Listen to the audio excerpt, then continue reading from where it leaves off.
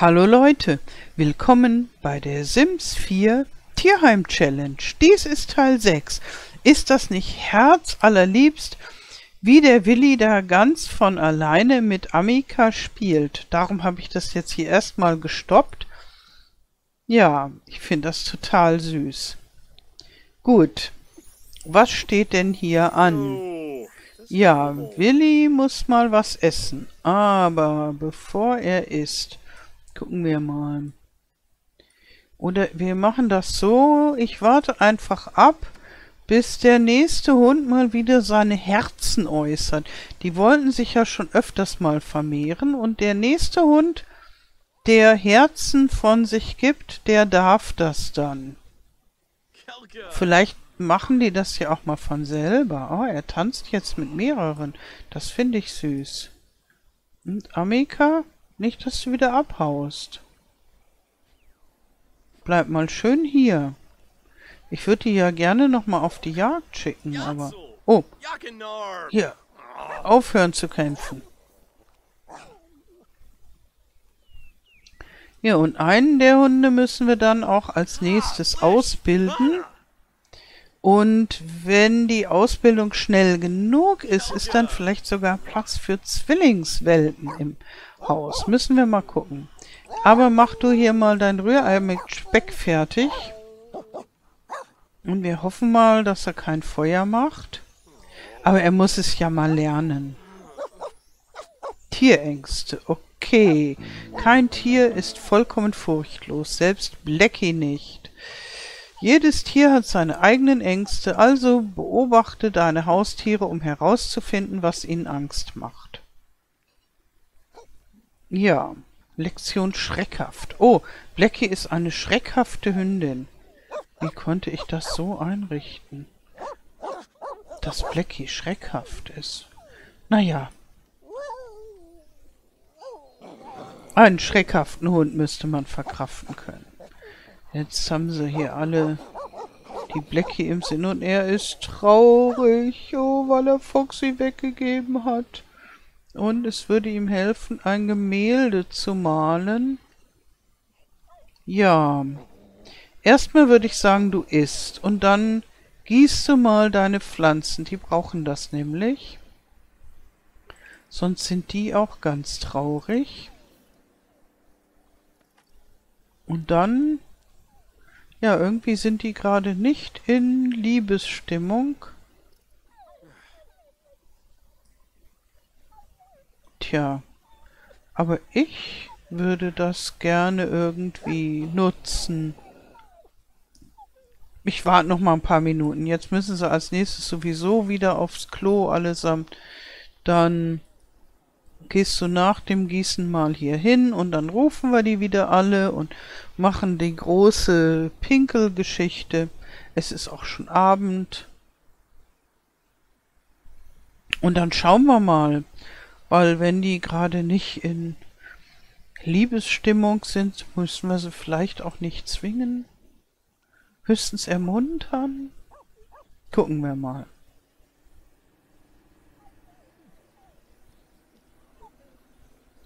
Ja, würde mir schon gefallen, wenn die ein Hundebaby kriegen würden. So, okay, jetzt rufen wir sie alle herbei. So, mal gucken, ob auch Blackie kommt, der schläft ja. Ob der davon aufwacht. Ja, ja, er wacht auf, das ist gut. Okay, dann hier bitten, das Geschäft zu erledigen. Okay, jetzt ist auch Cutie da. Und Amika ist auf dem Weg. Ne, die haben das schon alle nötig, weil das ist jetzt bei allen bisher schnell zu finden gewesen. Und Cleveland ist noch sauber. Das ist gut. Nur Blackie, da muss man suchen, aber wir bitten ihn trotzdem mal. Ah, Amika. Amika möchte sich vermehren. Mit so einem großen Hund. Naja, das wirst du schon schaffen. Mit welchem hättest du es denn gerne? Tja. Na, erstmal lassen wir sie mal alle ihr Geschäft erledigen. Und ich räume mal wieder die Haufen weg. Und das war ganz klar, Amika hat Herzen gezeigt. Die hatte auch gestern schon deutlich Herzen gezeigt und so. So, ja, jetzt macht sie hier einen Haufen. Da ist der Haufen, ne? Ach toll, der ist jetzt außerhalb des Grundstücks. Dann hebt den mal hoch.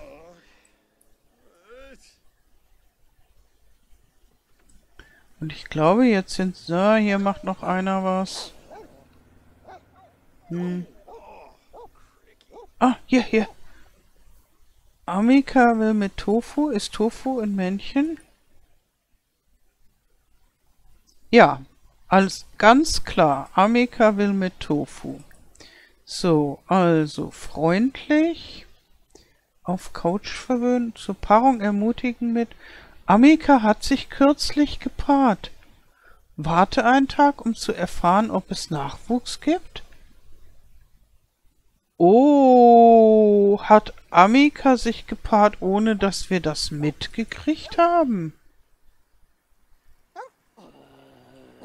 Ja, anscheinend. Und vielleicht mit Tofu. Ja, dann müssen wir jetzt warten. Schade, ich hätte jetzt gerne mal diese niedliche kleine ähm, Hundepaarungszeremonie mit euch erlebt. Aber das werden wir hier in der Challenge noch öfters. Er ist sehr traurig und liegt im Bett und weint. Och, der Arme. Oh, warte mal, warte mal. Hier kannst du einen Hund über das Spielen in Pfützen belehren. Das wird dich ablenken. Und vielleicht sollten wir dann Cutie trainieren als nächstes. Das wird ihn auch ablenken. Dann soll er mal Training Platz. Und was kann Cutie schon von selber? Bei Fuß. Okay. Das ist gut. Gucken, können die das jetzt womöglich alle? Nee. Ja. Ah, das kann sein, dass ich, dass ich ihnen das habe beibringen lassen, bevor ich mit dieser Challenge angefangen habe.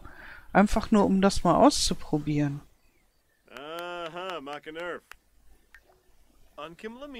Ja. Ja, das ist dann natürlich schon wieder ein Weibchen. Foxy war ja auch ein Weibchen. Nee, Cutie ist männlich. okay, ah, sorry. Irrtum.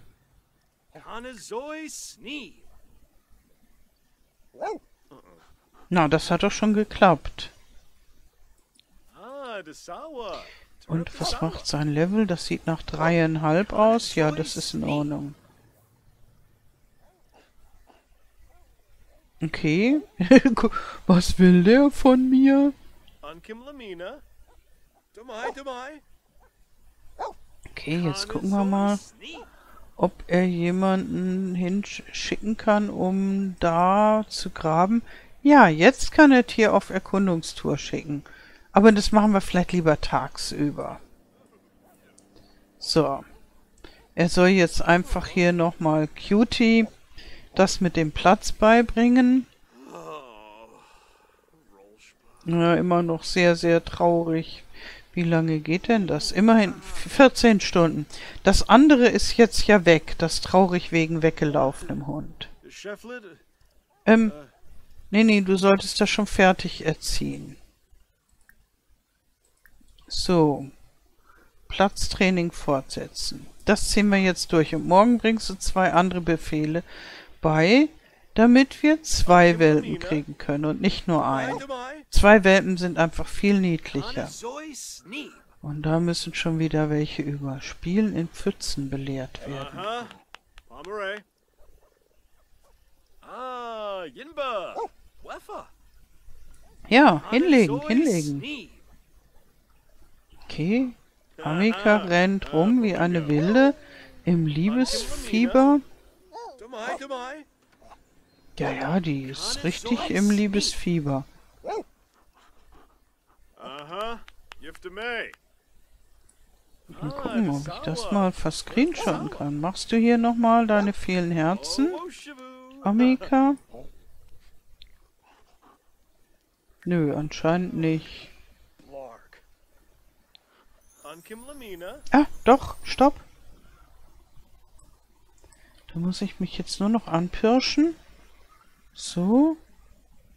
Ich habe es ein bisschen zu spät gemerkt.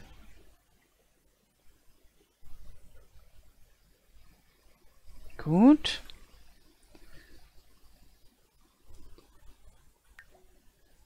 Okay. Ja, naja. Zois. denke mal, das könnte eventuell ein ganz ups, brauchbarer Screenshot geworden sein. Ah, Yinba. Wefa. Und hat es mit dem Platz immer noch nicht geklappt? Nee, du brauchst dich nicht ausheulen. Du hast noch so viele Tiere und vielleicht gibt's auch bald Nachwuchs. Ah, Cutie hat den Befehl Platz gelernt. Sehr gut. Dann kannst du sie jetzt mal loben. Ähm, wo ist das Loben? Loben und dann kannst du sie auch bürsten. Dann wird sie auch gleich ein bisschen sauberer. Oh, uh-huh. Rove. Tuba Yix. Bobinev. Ja, sehr schön. Vielleicht können wir auch mit Bürsten einen Teil der Dreckprobleme in den Griff kriegen. Na, das gibt wohl keine anderen Frösche außer den beiden. So, du könntest jetzt hier nochmal belehren über das Spielen in Pfützen. Und zwar über Spielen in Pfützen belehren und hier auch über Trinken aus Pfützen. Ja, kannst du auch mal belehren.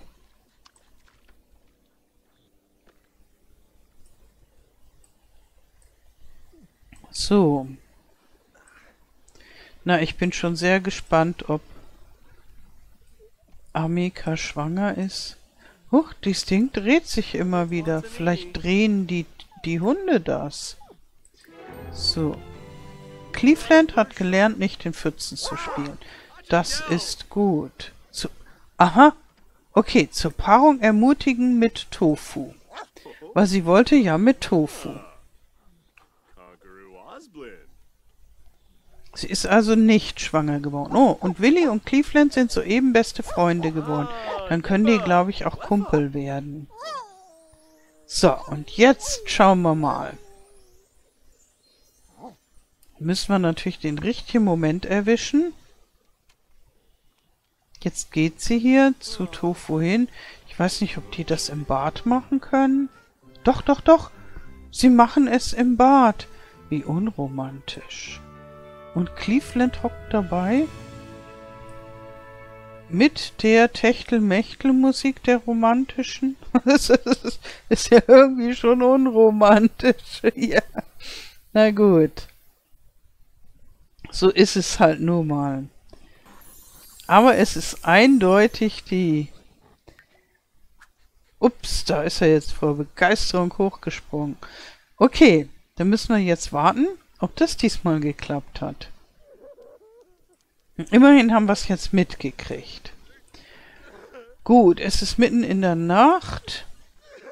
Er heult schon wieder. Och, gehst du mal aufs Klo und dann gehst du schlafen, mein lieber Willi. Und ich hoffe, dann ist mal die Trauer vorbei. Er wird natürlich immer mal wieder traurig sein. Immer wenn er einen Hund weggibt, wird er traurig sein. Aber ich denke mal, das gehört bei dieser Challenge wohl einfach dazu.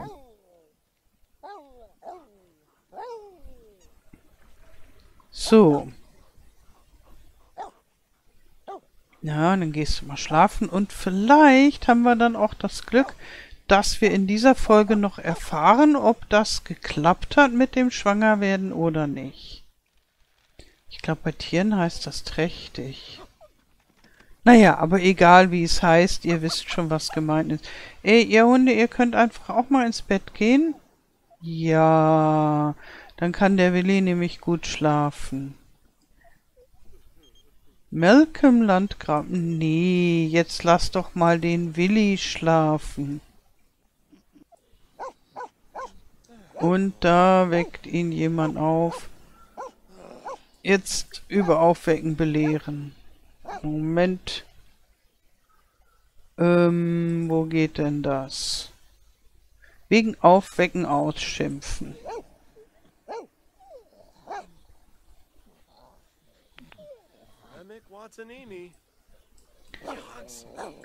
Und ansonsten kannst du dann... Ah ja.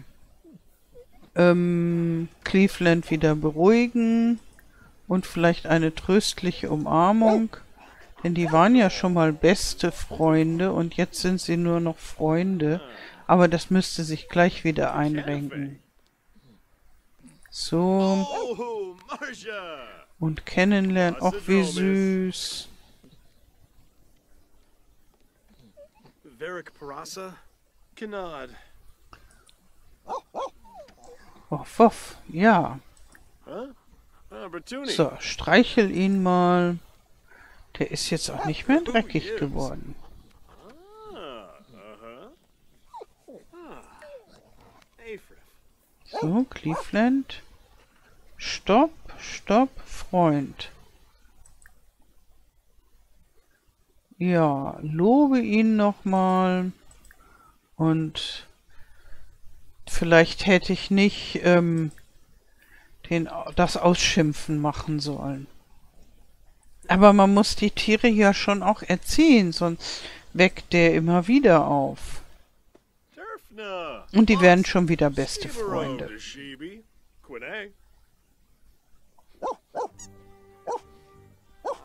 Okay, dann machen wir hier noch was. Nochmal kennenlernen und vielleicht ein Leckerchen geben. Ähm, leider können wir nicht zusammen zum Abenteuer aufbrechen.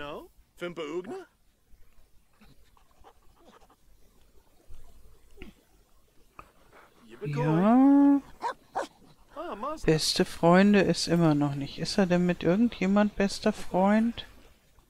Nee, nur Freundin. Immerhin. Tja, oh, hier möchte jemand gebadet werden, oder? Nö. Aber du könntest Tofu mal bürsten. So. Tierpflege. Nee, das ist wobei freundlich, das Bürsten. So. Ah, er hat jetzt erstmal Hunger. Ja, da hast du auch recht. Bürste mal Tofu und dann machst du das Essen weiter. Hm? Jetzt frisst der Cleveland den Salat, die Salatzutaten auf. Tja. Ja, müsste man ihn eigentlich fast schon wieder belehren. Naja. Ja, hat schon die Ohren angezogen, das hat er wohl gemerkt. Ah, Willi und Cleveland sind soeben beste Freunde geworden. Das ist doch gut. Ähm, diesmal belehren wir nicht. Liebe spüren. Das sollten wir auf jeden Fall mal machen.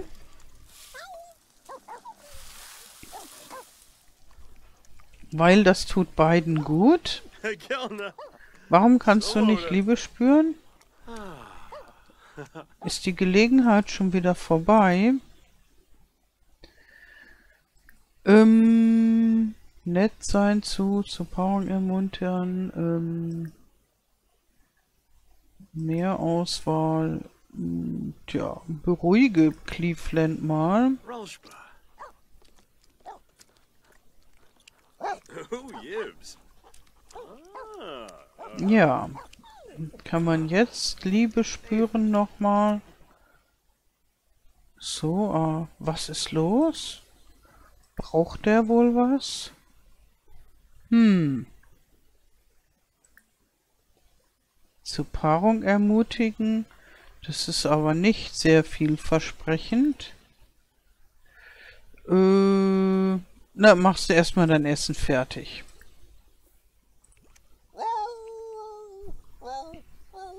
Und dann gucken wir mal, ob wir Amika auch noch mal zur Paarung ermutigen können. Freundlich. Ja. Das heißt, es hat wohl nicht geklappt. Wenn es diesmal auch nicht klappt, dann suchen wir uns eine andere Kombination aus. So, und ich schmeiß vielleicht mal dieses Gartensalat-Reste weg, weil die sind ja angefressen. Oh. oh, hat nicht geklappt. Er kann das wohl noch fortsetzen. Und dann soll er das danach mal fortsetzen. Oh, und die Folge ist schon wieder super lang, sehe ich. Ähm, gut. Dann wünsche ich euch noch einen wunderschönen Tag. Vielen Dank fürs Zuschauen und alles Gute. Bis zum nächsten Mal. Tschüss.